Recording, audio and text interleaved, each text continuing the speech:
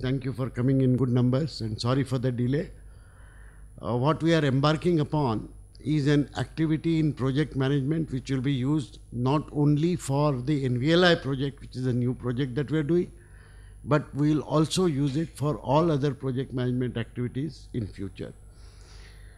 We have hardly ever done formal project management. We attempted it once when we were working on the MOOCs platform initially. But when uh, the government was not certain on the SWAYAM decision, we stopped that activity.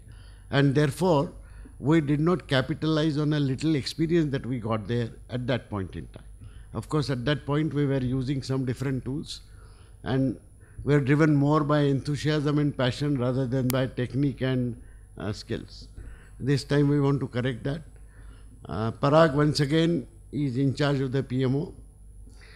Uh, I believe all of you have a little knowledge about project management. Those of you who have never read any book or any material on project management, can you raise your hands? It is possible that many people have never done any formal project management. Just one or two people. So everybody else is familiar with project management. Then you can just ask them to read Jira and Yeah, that's we it. can. I'll pass back my session. Good. No, I, I don't agree with uh, uh, this feedback from my colleagues because if I was asked the same question, I'll raise my hands and I will say, I do not know enough about project management. Even I have huge gap. And I have taught project management. So please understand that project management, even if you have studied something or learned something, is completely different from the style in which projects are managed now. Uh, I do not know. Those of you who have used project management or learned project management or something, how many of you submit your daily timesheet or daily report on Wiki? Can you raise your hands? Every day. But do you relate your daily report to some activity that has been interested to you, which has start time, end time, dependencies on other activities? And is there a mechanism which tracks whether a particular activity is falling behind schedule or is getting done in time? What you are doing at individual level is one part of the project management activity. The larger activity starts at the beginning when you define different major sub activities of a project, entrust that job to some managers who in turn divide that sub activity into sub sub activities, entrust those to their junior colleagues, and eventually the entire pyramid structure which is formed. Everyone knows what is my responsibility, what is my responsibility in terms of monitoring, and who is going to monitor my activity. Secondly, there are tools which will permit all this information to be automatically deciphered in terms of its impact on the major project timeline, and people would be advised on what is happening in the project. That is very crudely an overall project management view. But this time we will not be able to afford a single individual not familiar with this. And the success or failure of a project management system implementation depends upon every individual at the bottom of the pyramid. So if I'm a administrative person or a software person working in a team which has its own hierarchy, if I fail to complete my reporting correctly and in time every day, then it has an impact on the entire project. So therefore, this is it is not permitted to slip on that. That is the main point I wanted to write. Parag and his team will be describing their project management strategy. In the past, the traditional way in which software was developed and implemented, which required technical people as well as administrative people, was a prolonged process. We followed what was known as a waterfall model for development. In last 40 years, the things have changed completely, and what the industry follows is now called an agile programming model. An agile software development model does not have these separate compartments for specifications, design, development, testing, and deployment. It is all rolled into one, and you roll out versions, you deploy versions practically every week. Agile means quick. Now, that method is extremely difficult to practice even for experienced software and administrative people. So Professor Aute has advised again using against using that methodology immediately. We will not be implementing that methodology immediately. However, we'll be training all of us into the use of that agile methodology, which most probably be implemented by end of December or January uh, early next year, six months down the line. So today your task is twofold. One, to understand the overall project management methodology. Two, to understand the JIRA related both reporting structures as well as visualizing structures and the embedded uh, alerts, etc., which will come out. And uh, there will be hands-on training that each one will have to undergo uh, on some simulated project. I think he will he will develop that with all of you, and this training is obligatory for all, including for me. I'll be missing uh, the next presentation because of that continuation of the emergency meeting that I have, and there is another emergency. But uh, good news is that AICT has approved running of two MOOCs-based faculty development programs. And uh, if the additional secretary does visit on 18th, 19th as planned, we might actually have funding resume for the T10KT project as well, where we run all our FDPs using only MOOCs. So MOOCs then becomes the mainstay of our activities and therefore the projects will continue. So we'll have now double responsibility possible. It is absolutely essential that we become perfectly uh, competent in and skilled in handling Jira based reporting structures, Jira based visualization structure, etc. etc. You're also planning to use Confluence? Yes. Right. So there is also a mechanism for identifying uniquely all the documents that we ever put in place. Uh, currently, all of you are not even familiar with the requirement that every document must be having a unique identity number. Are you familiar with this? You write your program, you have a printout. Does that program have a line which says the unique identity for this document is this? You send so many letters, etc. Only on the covering note, covering letter, there is possibly a dispatch number. And that too is put by the dispatching office. But are individual units completely comfortable with the fact that every document must have a unique ID whenever it originates? We don't do that. Our teams, including senior managers, don't do that. When they send me a mail for a draft document, they just send a draft editable document. It does not have a unique identity. Just to elaborate this point, suppose my workshop team sends me 20 documents in 10 days. And I want to refer to a particular document. How do I refer to it when I call somebody from workshop team? Our workshop team wants to tell me that they had sent me this document earlier. They will invariably try to say कि नहीं, वो second April को भेजा था। नहीं नहीं, शायद thirty first April thirty first March को भेजा था। थर्टी फ़र्स्ट मार्च में आपकी तीन मेल है। हाँ उसमें से दूसरा मेल का अटैचमेंट देखिए।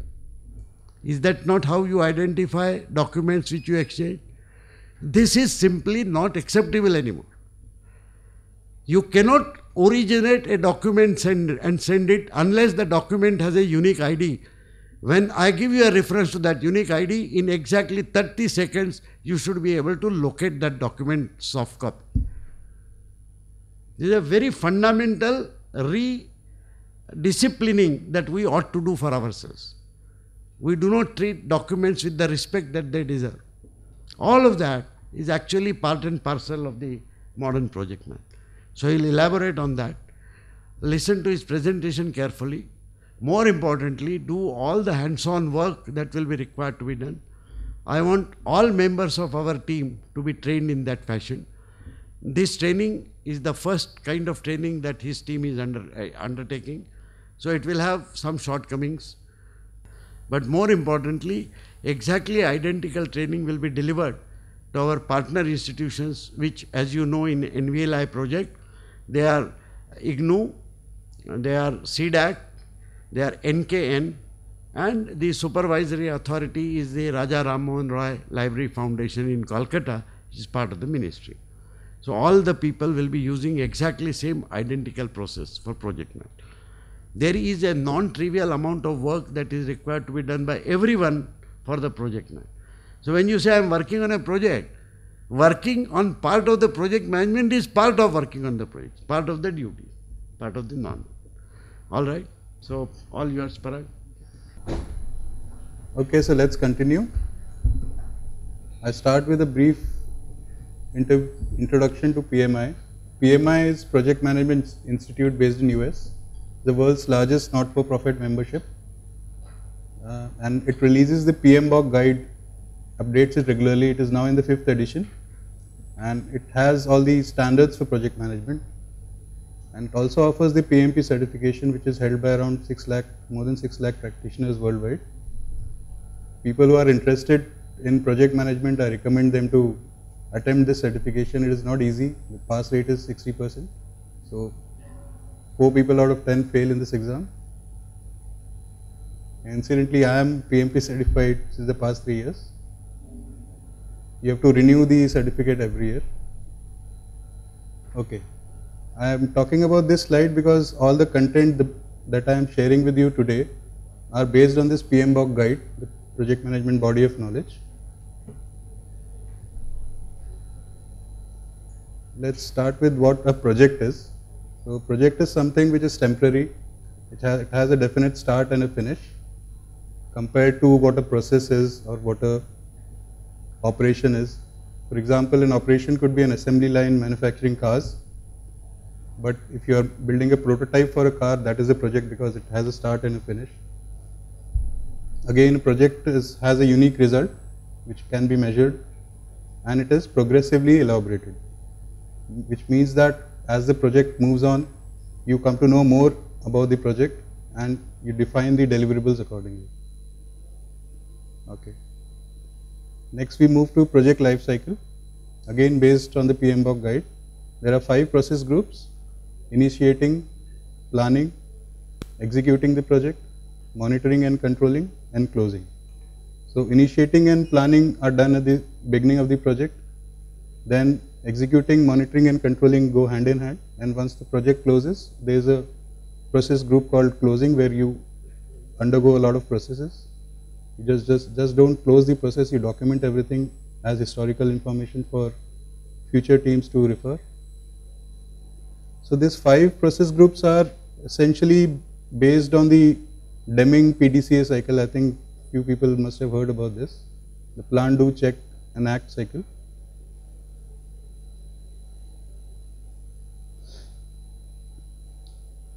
And these five processes process groups have 47 processes and 10 knowledge areas.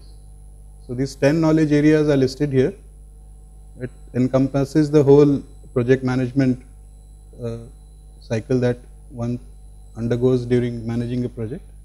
So in this brief session, we will focus on only three knowledge areas, scope management, time management and risk management. I have chosen these three because these are essential to start using Jira effectively. In scope management, you essentially create a work breakdown structure. You break down the scope into work packages. These are the deliverables which, you, which are then further broken down into activities. And you also maintain a risk register so that you keep track of the risks that are involved in the project and take corrective and preventive actions. So the entire story begins with the project charter. This is where the project starts. This is a document which is issued by the project initiator or the sponsor of the project. It formally authorizes the existence of the project. It authorizes the project manager to start using the resources of the organization for project activities. It includes a bird's eye view of the project is all about. For example, the business need of the project, the scope description, and the strategic plan. This is a sample, a very simple sample of a project charter. The slides are not very clear. We tried to fine tune it, but didn't happen. Anyway, the highlighted portions are important. Essentially consist of the description, a brief description of the project, the requirements of the project, then who is the project manager assigned to the project, what is his authority level, then summary milestone schedule, and the business case and it is signed. Now we come to the main plan which is called the project management plan. This is essentially a collection of subsidiary plans. There are 10 plans, each for each knowledge area. So there is a scope management plan, there is a time management plan, there is a cost management plan and so on. So most people have doubt that maybe the project management plan is something that you get out of MS project. It is not the case. What you get out of MS project is the project schedule plan and not the project management plan. So just to make that clear. And finally we come to the project management information system. This is the software which helps you in managing the project.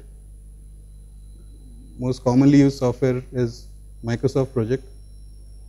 But now there are many competing project, uh, project management softwares. One of them is Jira. There are more popular ones like Trello, Asana and various others. We have chosen Jira because it is given, it is a commercial license software developed by a company called Atlassian in Australia and it gives uh, those teams who are developing the system in open source free to use. So we have an open source license for this. In fact, you can in fact manage the project using Microsoft Excel also.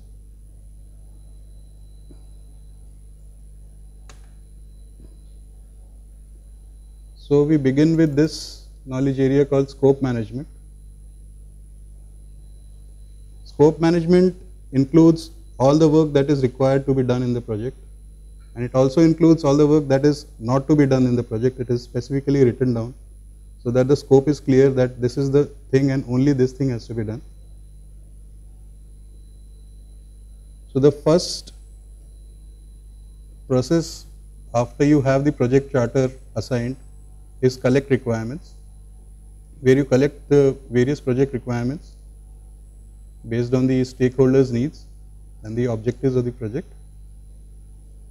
there are various tools and techniques used to collect the requirements. This is a very huge phase and a very important phase.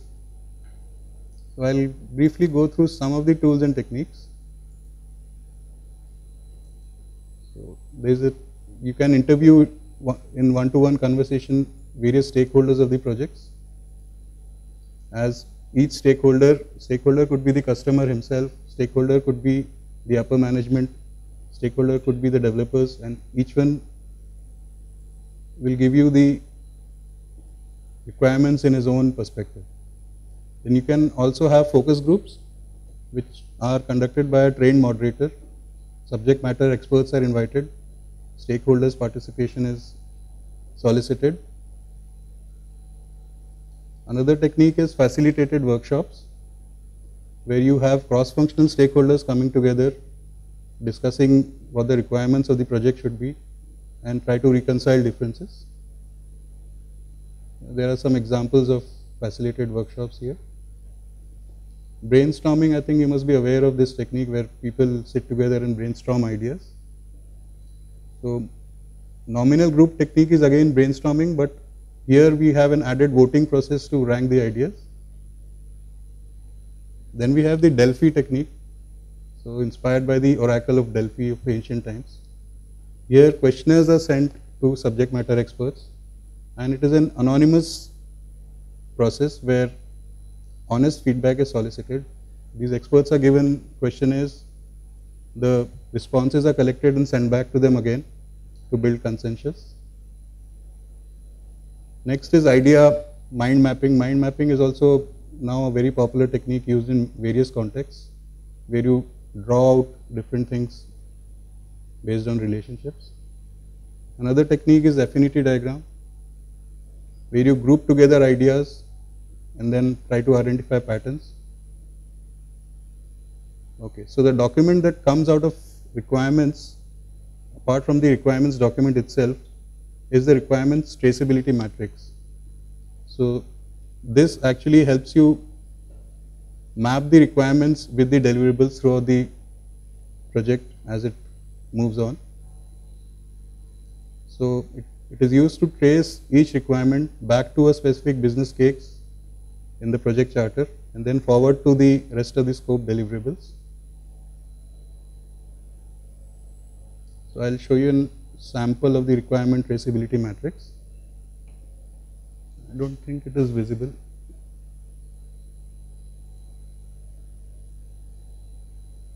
So here each requirement is mapped to the WBS deliverables, the project objectives, the design, test cases and other things. Unique ID is given to each requirement.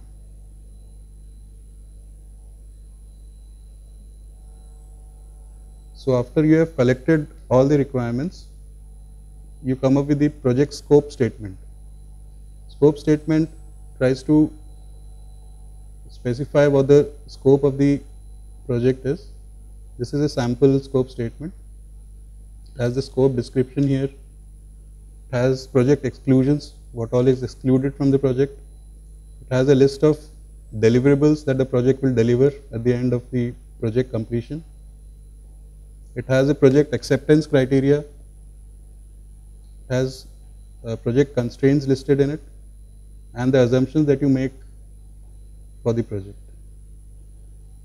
So now we come to the very important part of scope management which is called the work breakdown structure uh, also called WBS.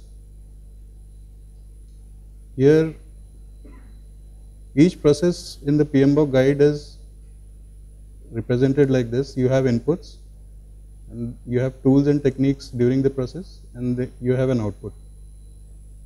So here the inputs are the requirements document from the collect requirements process. You have the scope statement and you use decomposition to create the WBS and the output is the work breakdown structure. So this is the technique decomposition.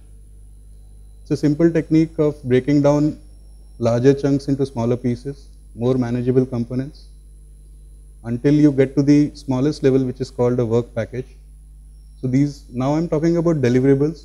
Deliverables are broken down into work packages, the smallest unit of work that needs to be done. All the work packages aggregated together will give you the entire scope of the project.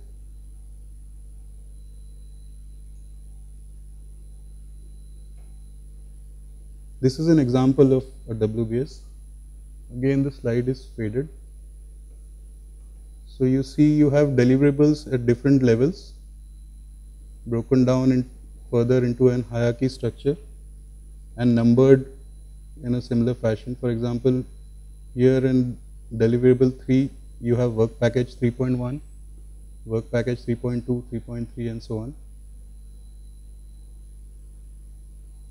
So once you have, so the WBS structure is a visual representation and to store the information of each work package you use the WBS dictionary where each work package is detailed and various things listed in this. Even this slide is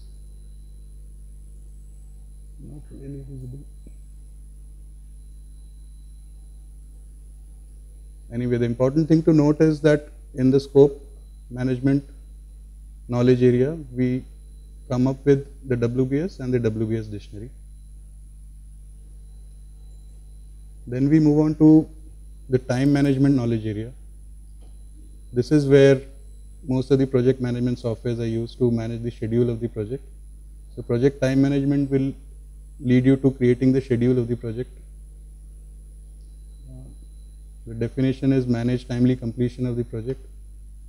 There are various processes in this which are really simple and straightforward. You define the activities, then you sequence the activities based on dependencies, then you estimate the resources that each activity requires for it to complete, then you estimate the duration of each activity, and finally you develop the schedule and you control the schedule using a project management software while the project is going on.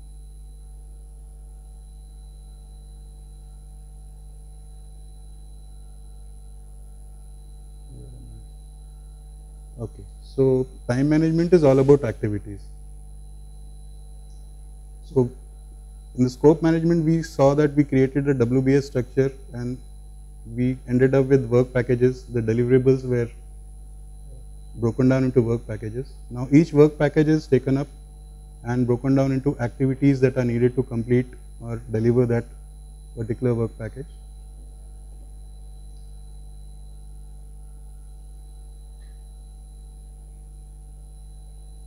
So here is an example of this diagram would make it very clear. It's a simple diagram. You have the WBS at the top listed down diagrammatically in an hierarchical fashion. So here one of the deliverable, the work package is you know creating dinner because the project is about providing a banquet. So the activities for it could be to decide on the menu, create the shopping list to buy the ingredients, shop it, cook it and serve dinner. So simple example. Once you have identified the activities required to deliver each work package in the WBS, it's now time to sequence the activities. Sequencing is based on logical relationship between the activities. Can be performed manually or automatically using a project management software. Tools are the precedence diagramming method called PDM and dependency determination. So this is the precedence diagramming method. It is essentially creating a graphical representation of the schedule activities in the order in which they must be performed on the project.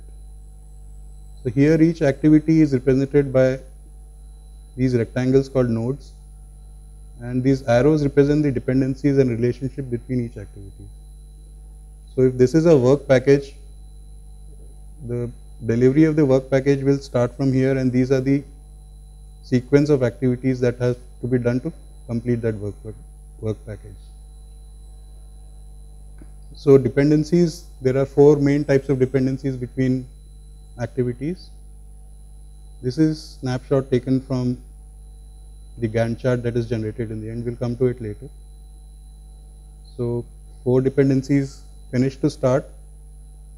This the small blue line is the predecessor activity and the lower blue line is the successor activity. So finish to start means that the second activity can only start once the first activity is finished. There is another called finish to finish where only when the first activity finishes the second activity will finish. It will wait for the first activity to finish till that time it cannot finish.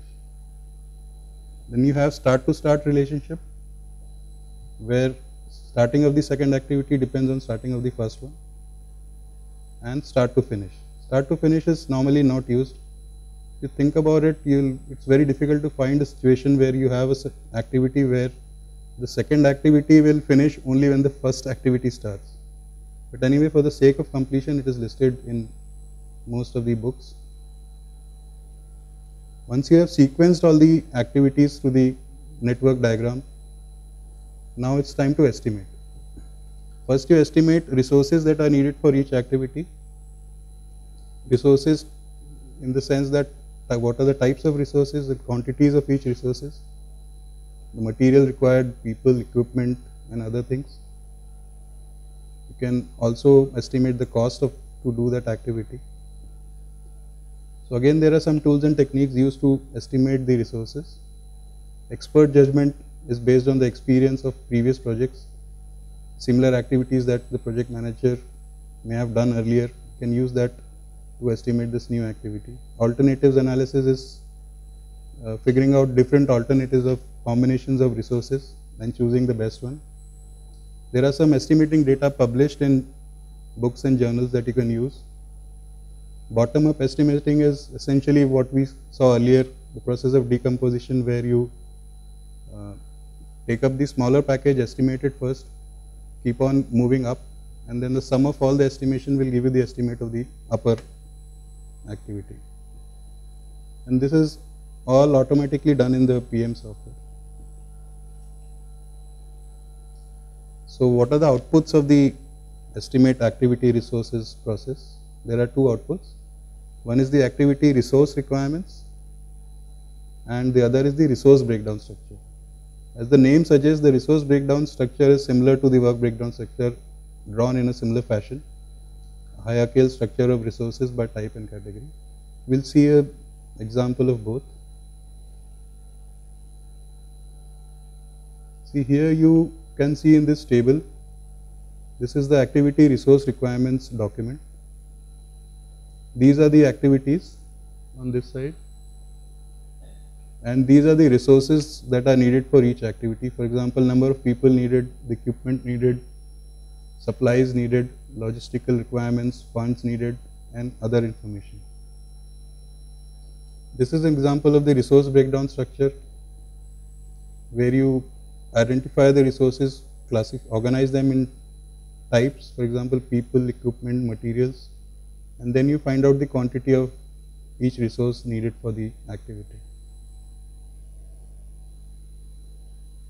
Okay, once you have estimated the resources required for each activity, you estimate the duration that is needed, the time that is will be needed to complete that activity. This is again progressively elaborated in the sense that if you have divided the project into milestones, so milestones are again different from activities in the sense that milestones don't have a duration. Milestone is a fixed date that you break up the entire project duration into. For example, if your mi first milestone is coming up three months later, you choose only those activities which are needed for achieving that milestone and estimate the durations for that and you leave the other activities to be estimated later. This is what is meant by progressively elaborated. So there are various tools and techniques to estimate the duration required to complete that activity. So managers don't just magically come up with some numbers of numbers for estimating the duration. There are some techniques used to find out how much time an activity will take. We'll go through a few. These are very simple techniques. If you read more about it, you'll find more complex techniques being used in the real life scenario. For the sake of simplicity, I have not added them here. Expert judgment is one tool and technique which is used everywhere. So second one is analogous estimation. So this is an estimating technique where you take a similar activity that you have done earlier, you extrapolate from that based on the relationship. There is a simple example here that supposing you have done an activity earlier which took you three days and the activity that you are estimating right now is roughly twice the size of that. So you assign six days to this activity. So this is an example of analogous estimation. Then we come to parametric estimation. This is essentially using some algorithm or some formula, some mathematical function to come up with estimation. Simple example again at the end is supposing a developer can write 300 lines of code per day and totally you have 3000 lines of code to be written. So you estimate that it will take 10 days to do it. So this is a simple example of parametric estimation. There are very complex scenarios also for this. You can read further. So this is the most popular estimating technique for activities. Most of you must have heard about it. It's called PERT, Program Evaluation and Review Technique. This is essentially a three-point estimating technique where for each activity you come up with three estimates of the duration. You, you think about the most probable time it will take to complete the estimate activity you come up with an optimistic estimate and you come up with a pessimistic worst case scenario estimate. Since by the name itself the most likely estimate will happen most likely. It is given a weighted average of 4 so it is multiplied by 4 and the formula is this. This is the optimistic estimate.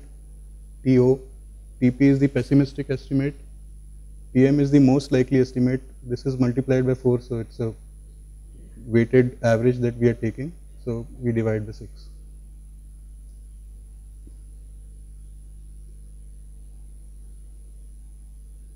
So there's another technique called reserve analysis.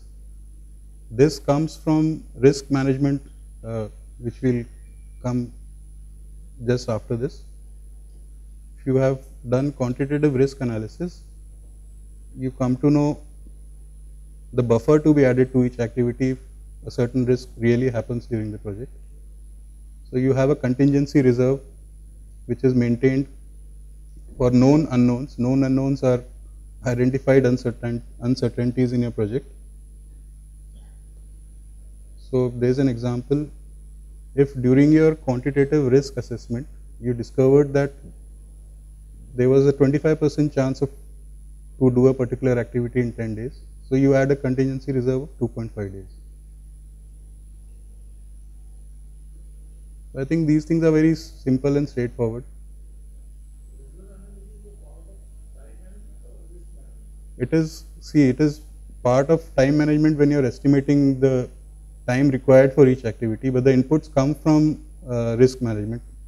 See, it is mentioned here that activities, this buffer is to be added based on the quantitative analysis carried out as part of developing the risk register.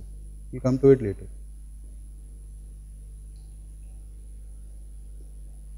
So finally you get the schedule diagram, project schedule network diagrams. These diagrams are created automatically in any project management software including Jira. So this diagram shows you the activities, the dependencies between the activities and the duration of each activity on top. And then we come to another important concept called critical path method. So critical path is that path of the activity which if any activity in that path is delayed, the project overall gets delayed. So this is the path that is identified and a close loop is kept on this active this this path. So to make it more clearer, let's see this diagram. This supposing this is the start and we move from here to here. There are two paths from in this diagram. One is this dark bold arrows here and one is this. So you calculate the number of days in each of these paths. So the longest path is on the critical path. So here the critical path is 3, 4, 5, 6, 9 days. And the other path is 3, 4, 5, 6 days. So essentially what it means is that any of these activities on the critical path, if any of them are delayed by even a day, the entire project is delayed. But the activities on the other path, you have some slack time in the sense that even if it is delayed by one day, the overall project will not get delayed.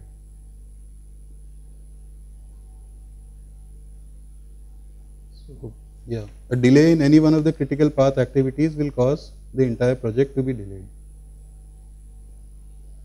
So now the output of the time management knowledge area is the project schedule. Project schedule is usually represented as a Gantt chart. This term also most of you must have heard.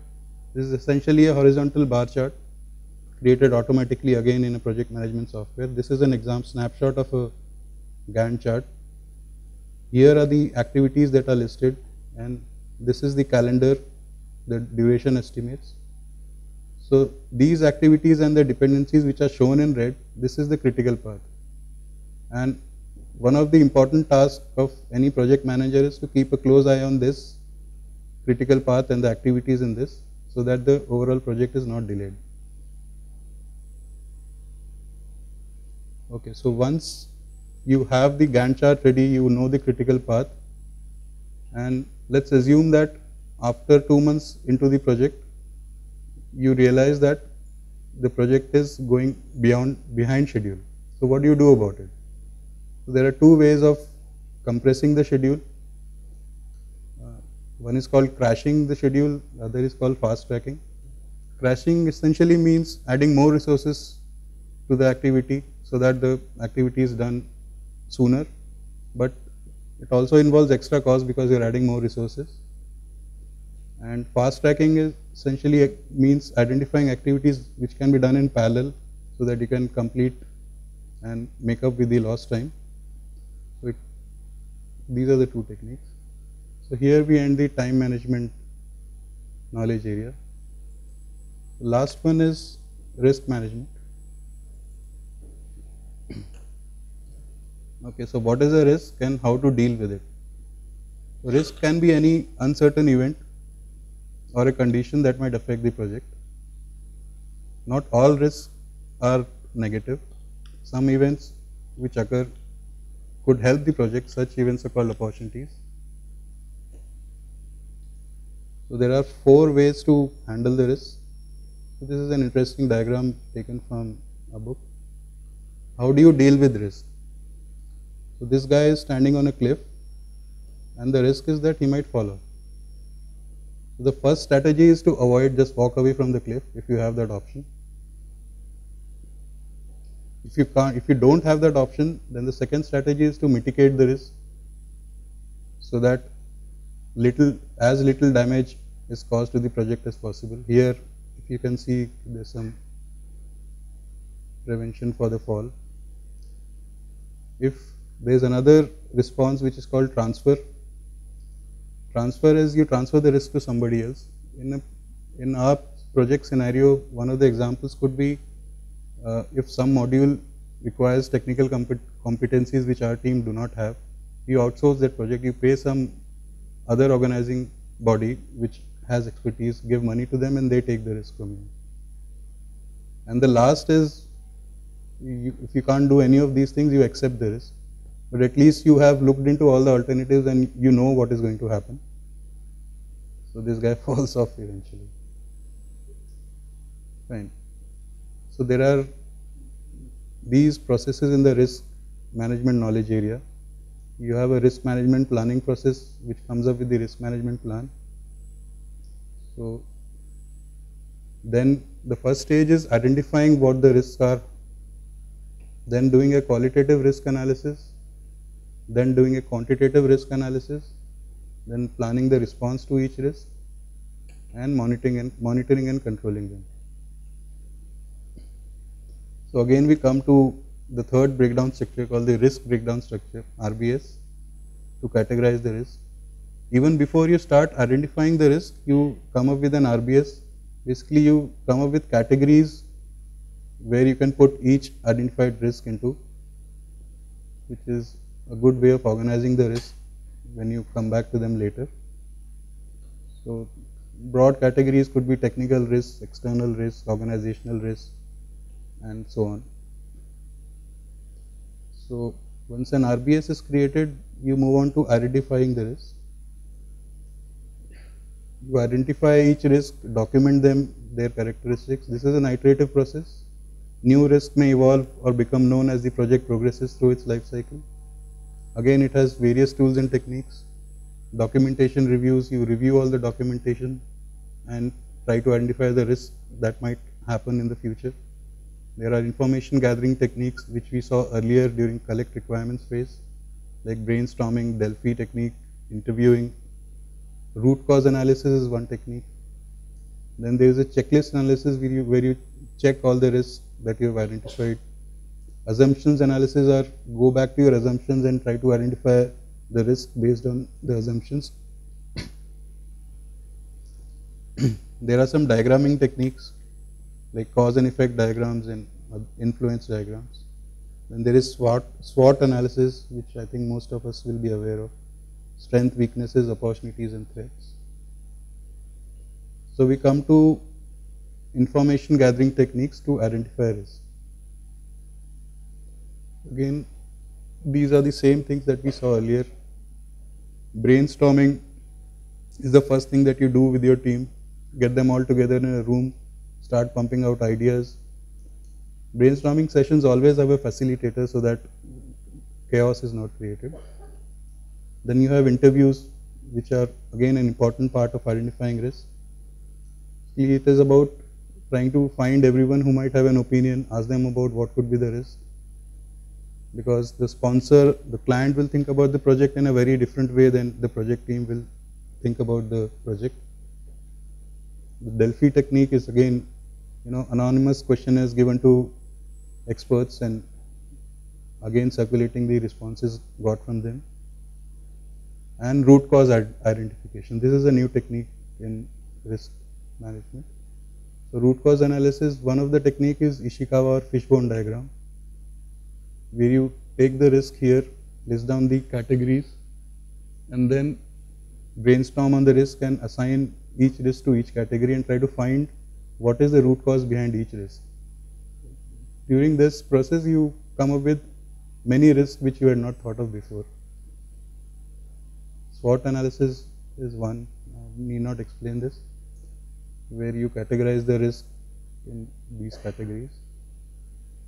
Okay, so the output of all this processes in the risk management knowledge area is the risk register. This is the important document. The, all they talk about this knowledge area is to create this document. This risk register lists all the risks together, the potential responses in the second column, and the root causes that you got from the root cause analysis done earlier. So this is a risk register keeps on updating as the project progresses. There are two more processes, qualitative risk analysis and quantitative risk analysis. In qualitative risk analysis, the risk, the risk list of risks that you have identified, you rank them. How do you rank the risks? You rank them based on their probability of happening and the impact they will have on the project. So you create a probability impact matrix. Quantitative risk analysis is assigning numbers, basically you numerically analyze the effect of each risk on the overall project objective. This is very important in decision making if, if a risk happens. So this is a probability impact matrix.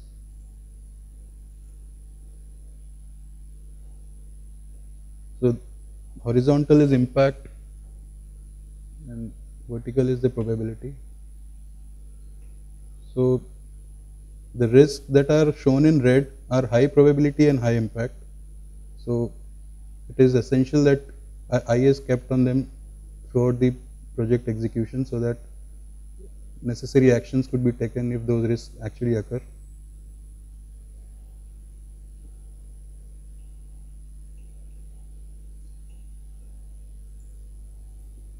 Okay.